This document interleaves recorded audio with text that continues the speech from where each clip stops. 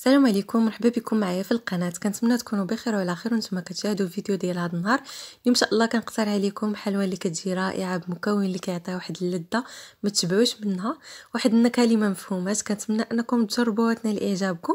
بلا ما نزيد نطول عليكم نمشيو نشوفوا المقادير وطريقة التحضير وفرجة ممتعة.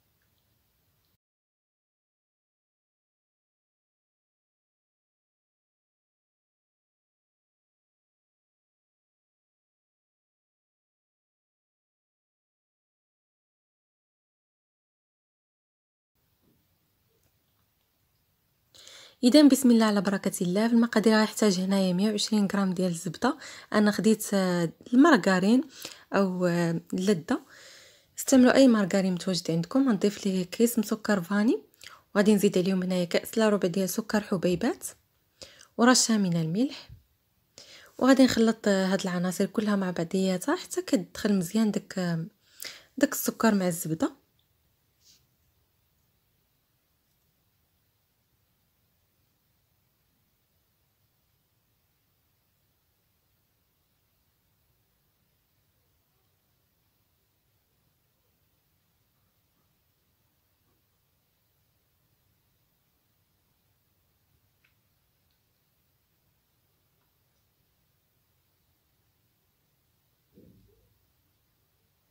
صافي غادي نزيد عليهم هنايا كأس الا ربع ديال الزيت نباتية. هنا إلا كنتم مستعملين الزبده ديال البواطة فديروا غير نصف كأس ديال الزيت حيت دائما الزبدة نتاع المارغرين كما كتعرفوا راه كتكون ناشفة والزبدة ديال البواطة كتكون ميدمه فباش ما تبقاش تطلق لكم هكا العجينة الزيت. صافي كنخلط مزيان هنايا حتى كنتحصل على قوام هكا اللي كيكون كريمي وكتذوب مزيان هذيك سنيدة في المكونات.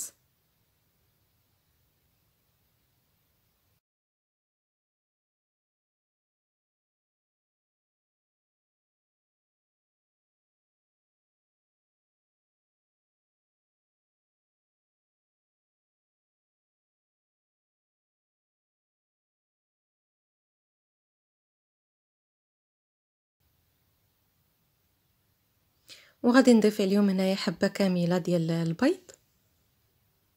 ونخلط مزيان.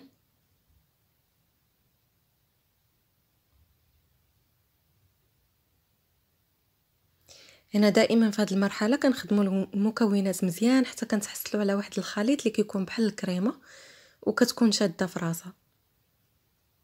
هذا هو القوام كما كتلاحظوا صافي غادي نضيف هنايا المكونات اللي قلت لكم غادي يعطيو لذه زوينة لهاد الحلوى هنا عندي ملعقة كبيرة ديال بودرة الحليب المجفف. وعندي هنايا ملعقة كبيرة ديال زبدة اللوتيس اللي كتعطي واحد البنة اللي رائعة بزاف لهاد الحلوى أه كنتمنى تجربوها إلا كانت متواجدة.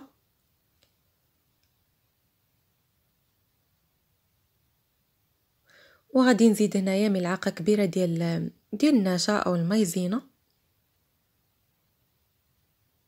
ونخلط مزيان مكونات مع بعضياتها. هنا بالنسبة لزبدة اللوتيس إلا ما كانتش متواجدة فيمكن لكم ديروا هكا غير فلون ديال الكراميل مع ملعقة كبيرة ديال ديال الكاوكاو اللي كيكون مطحون مزيان. أه صراحة ما غاديش يعطيكم نفس المذاق ولكن غير يجيكم هكا مشابه في الحلوى. أه كنتمنى إلا كانت متواجدة أنكم تجربوها باش باش تبنوا مزيان في هذه الحلوى اللي كتجي رائعة. صافي هنا غادي نبدا في الإضافة ديال الدقيق بالتدريج.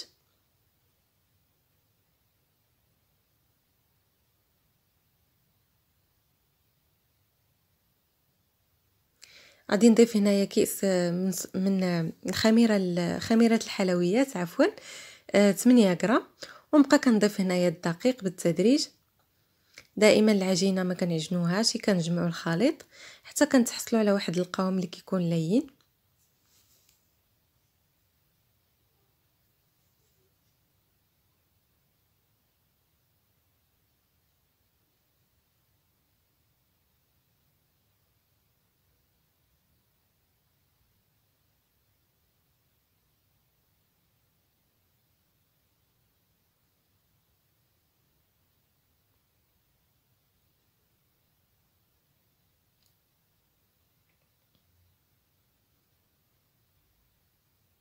وكنشوفو دائما بلي اليد اللي كتكون ناشفة آه، باش نعرفوا القوام ديال العجين واش تجمعات ولا مازال خاصها الدقيق إلا كان مازال خاصها فكتبقاو تضيفوها هكا غير غير كترشوها هكا من الفوق الدقيق وصافي.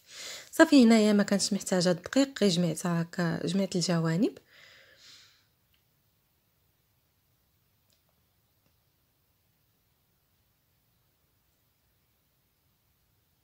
وهذا هو القوام ديال العجين كيكون لين. صافي خديت هنايا سكر سنيدة أو سكر حبيبات يكون شوية غليظ من الأحسن وغادي نبديها كنشكل كويرات. هنا درتهم متوسطين حيت عندي الطابع شوية عريض فعلى داكشي باش تجيني الحلوى كلها دايرة الطبعة فيها كلها دايرة. صافي كنفوت هكا الحلوى ديالي في سنيدة وكنوضعها في صينية. هذا هو الطابع اللي استعملت يمكن لكم تستعملوا أي طابع عندكم. وغادي نطبع بهذه الطريقة.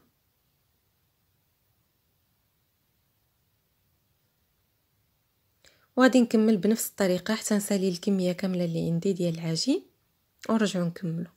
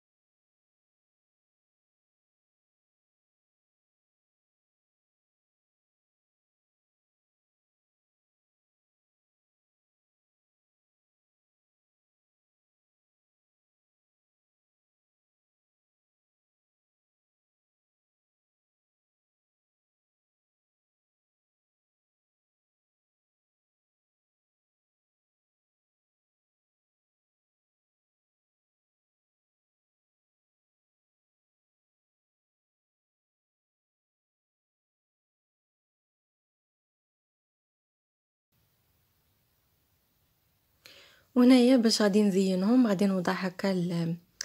هكا دوك الدوائر ديال شوكولاته غيش إلا كانوا متوفرين إلا ما كانوش متواجدين فيمكن لكم يعني تزيدوا تضغطوا هكا في الوسط ديروا بحال شكل نتاع حفرة ومنين تخرجوهم من الفرن زينوهم بالشكلاط دايب من الوسط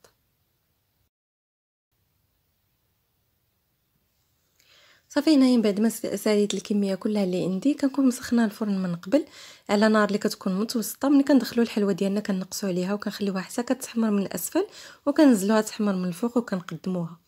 وكيجي هذا هو الشكل النهائي ديالها كما لاحظتوا معايا. كتجي مذهبة واخدة واحد اللون اللي كيكون زوين بزاف. كنتمنى أنكم تجربوها وتنال إعجابكم. كتجي صراحة هشيشة ومقرمشة في نفس الوقيتة. أه بالنسبة للحبات فهذه هي الكمية اللي خرجت معايا كلها. كنشكركم دائما على المشاهدة والمتابعة. نتلاقاو في الوصفة الجاية إن شاء الله. خليت لكم الراحة بصحه والراحة ومع السلامة.